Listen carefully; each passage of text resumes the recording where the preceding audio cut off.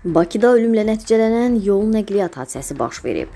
Hadisə oktyabrın 25-də axşam saatlarında Binə qəsəbəsi, Badam bağları yaşayış sahəsində qeydə alınıb. Belə ki, 1976-cı il təvəllüdlü Müslüm Əhmədovun idarə etdiyi 169 nömrəli marşrut xətti üzrə Daevo markalı sərnişin avtobusu yolu keçən piyadanı 1985-ci il təvəllüdlü Zaur Ələkbərovu vurub. Nəticədə piyada aldığı xəsarətlərdən hadisə yerində həyatını itirib.